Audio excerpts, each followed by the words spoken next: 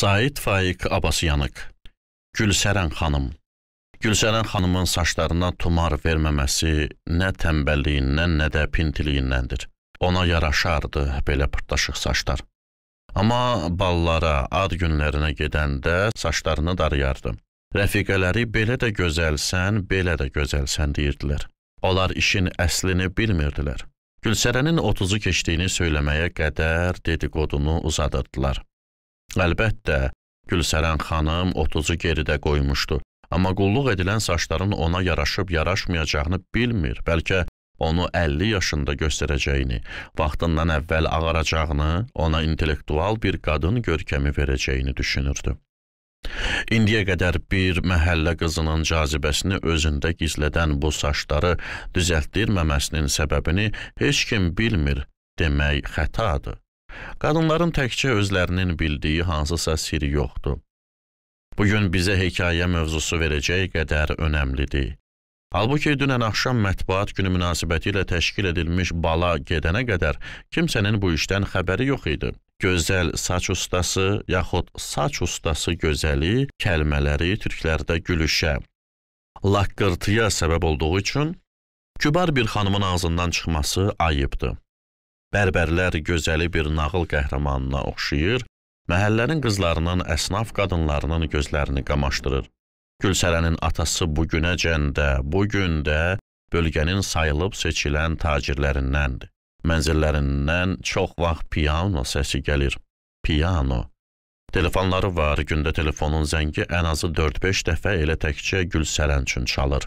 Belə bir evin qızının saç ustası gözəli dedikodusundan diksinmək mümkün bir şeydir. Onun üçün fransızca le beau kafler ifadəsinə tərcümə edilməyən bir məna kimi baxmalıyıq. Bu, gözəl bərbər anlamını tam vermir. Le beau kaflerin əsl adı Rızadır. Saç ustalar arasında onu qız Rıza, bal Rıza kimi ləqəblərlə tanıyırlar. Amma xanımların yanında le beau kafterdur. Bir ara bu ad böyük səsküyə səbəb olmuş, İstanbulun bir çox incə-mincə xanımlarını şəkkə salmışdı.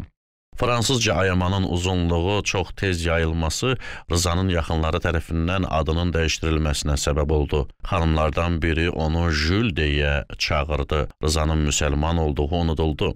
İndi sağa sola Jüldür ki, Jüldür. Gülsərən xanım axşam bala gedəcəkdi. Telefonla Jüllə vədələşdi. Düz saat 3-də gəldi. Güzgünün önündə oturdu. İndiyə qədər Jülə heç müştəri gözü ilə baxmamışdı. Baxdı və fikrə getdi. Bəli, pis deyil. Çox ürəyi yatandı. Ancaq bu nə bığdır? Qırxılmalıdır. Yaxud da belə nazik qaş kimi bığ iri, haləli mavi gözlərinin duruluğunu biraz pozur. Dodaqlarının ucunda xəfif təbəssümdən yaranan cizgilər mənasız olsa da, ona yaraşır. Düşüncələrə dalınca və yaxud birinə aşiq olunca nəsə ifadə eləyə bilər. Yox, yox, düz demədim. Bu bığ çox eybəcərdir, qadına oxşadır onu. Təəssüf, bığ kişilərə məxsus bir şey olduğu halda jüldə niyə insana bir təsiri yoxdur? Bığını gur buraxmalıdır. Tükləri sıxlaşsın, ağzına, burnuna girsin. Qaşlarını da alıb, onu da qalınlaşdırmalıdır. Qalın qaşlıya bənzəyir. Bir neçə gün qəribə baxarlar, amma sonra öyrəşərlər. Doğrudur, əsas məsələ əllərdədir. Nə bacarıqlı əlləri var. Adamın saçlarını elə gözəl oxşayır ki, heyran olursan. Nəcla deyərdi, gülərdim. Bu nə hisslərdir? İndi mənə sarılıb öpsə, ona bir yumruq vurardım. Amma bığını buraxsın, qaşlarını almasın hələ. Güzgüdə göz-gözə gəldilər. Gülsərən xanım düşünməkdə davam eləyirdi. Ah, arsız-arsız gülür. Bir saat da ona baxdığını görüb. Ona sataşmaq istəyir. Biraz tez tərpənin. Necə qıpqırmızı qızardı zavallı adam. Obri salondan səslər gəlir. Abırsız söz-söhbətlərdir. Könlünü almaq istəyir. Bu nədir? Hər gün burada belə söz-söhbətlər edilir. Xəcalətdir. Arsızca gülür. Neynəməli xanım? Bura sevib sevilənlər gəlir. Mənimki məni bəyənmir, öpərkən tilini qoparacağam deyən qız manikürçinin rəfiqəsidir. Pis qız deyil, sevirsə etiraz eləməməlidir. Sevgi hər şeyi mümkün qılır. Belə ədəbsiz söhbətlərə sevgi bəraət vermir. Haqlısınız xanım. Deyəsən biraz sərt danışdı. Biraz ciddiləşdi. Dözə bilməyəcək. Saçlarını düzəldən əllər necə ustadı. Elə bil səni həzin-həzin qıdıqlayır. Qəribə bir duyğu yaradır. Sanki əllər danışır, xahiş eləyir, dəvət eləyir, bir fikri min cür bildirir. Belə aşkar eşq elanını hər qadın dərhal rədd eləməlidir. Saçlarımın başına oynaçırsınız? Saçlarınızın sarısına qələm boyda qumral rəng sürtəcəyəm. Açıq sarı ilə kontrast çox yaraşacaq sizə. Gizlədə də bilərsiniz. Baldan sonra istədiyiniz zaman saçlarınız pozulmadan boyanı fırça ilə yuyarsınız. Doğrudan da gözəl oldu.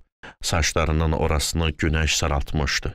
İki açıq sarının tən ortasında tünd qumral rəng yaxşı görünürdü. Rıza bəy, niyə sizə jül deyirlər? Özüm də bilmirəm. Müştərilərin şıltaqlığıdır, xanım. Yenə güzgüdə göz-gözə gəldilər. İndi nə etməli? Mən də gülməliyəm. Görək avara işini necə tamamlayacaq. Qəribədir. Saçlarıma baxaraq nə xoş gülümsüyür, gördüyü işdən həzz alır. Afərin. Ona biraz üz verə bilərəm. Rıza bəy, sənətinizdə tayınız bərabəriniz yoxdur. Təşəkkür eləyirəm. Evlərə də gedirsiz? Əmr eləsəz. Güzgüdə ədəbsizcəsinə baxdı, yaranmaz.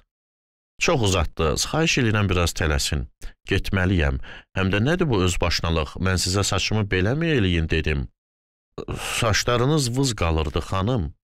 Siz qadınların saçlarında bəzi tüklərin vız qaldığını bilirsiniz, Monsieur Jules, amma o vız tüklərin bəzilərinə necə yaraşdığını anlamayacaq qədər də qadınlara baxmağı bacarmırsınız. Anladı mı, anlamadı mı, amma qıpqırmızı qızardı. Fırçanı son dəfə saçıma toxundurub dedim. Bitdi xanım. Gözləmədiyi pulu məğrur bir əda ilə ona uzatdım. Deyirlər ki, müştərilər pulu onun cibinə qoymayanda özündən çıxır. Qoy özündən çıxsın. Arxaya çevrilib boyalı əlini yuyurdu. Cənab Jül, dilləndim. Dönüb heyrətlə baxdı. Saraldı. Bəlkə məni özünə vurulmuş hesab eləyir. Başı xarabdır, nədir? İşi xoşuna gəlməyəndə ay dəliyə dönərmiş ha. Bayaqdan dediklərimin mənasını indi anlayırmış kimi üzümə baxa bilmirdim. Pulu ovcuna bastım. Əlində əzdi. Uzun, gözəl barmaqlarına baxa bilmirdi. Pulu yerə atmaq istəyirmiş kimi bir hərəkət elədi. Qaşlarımı çatdım. Pulu yerə atsaydı görərdi, onu burdan qovdurardım. Sadəlövçəsinə deməzmi? Mil mersi. Qəhqəhə içində pilləkənləri enməyə başladım. Dönüb üzünə baxdım. Həqiqətən yaraşıqlı adamdır. Sənə göstərərəm, ürəyimdə dedim. O bığı uzatdırmaq mənə borc olsun. Saçlarına da yağ sürtməyəcək, qıraqlarını da bir-birinə yapışdırmayacaqsan. Gülsənən xanım balda əsəbi idi. Heç bir yazıb oxuyanın gözləri Rızanın mənalı, dərin mavi gözlərinə bənzəmirdi.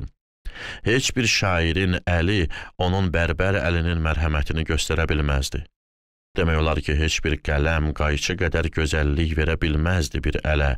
Bütün yazı pozu əhlinin çirkinliyi qarşısında gözəl bərbəri həsrətlə xatırlayan Gülsərən xanım gecədən xeyli keçmiş evə dönüncə saçlarını yaxşı-yaxşı yudu.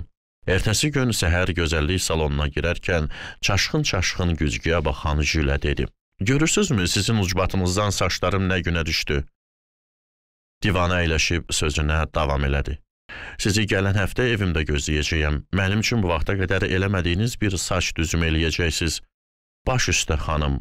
Gülsərən xanım güzgüyə baxıb güldü, düşündü, sonra dedi. Əvvəla qaşlarınızı almayacaqsınız. Bu bir. İkincisi, bığınızı gür buraxacaqsınız. Lopabığ olmağınızı istəyirəm. Sonra da saçlarınızı yağlayıb yapışdırmayacaqsınız, darıyacaqsınız və salam. Monsieur Jules bütün görkəmi ilə güzgüdən baxdı. Mənim də sizdən bir istəyim var. Buyurun.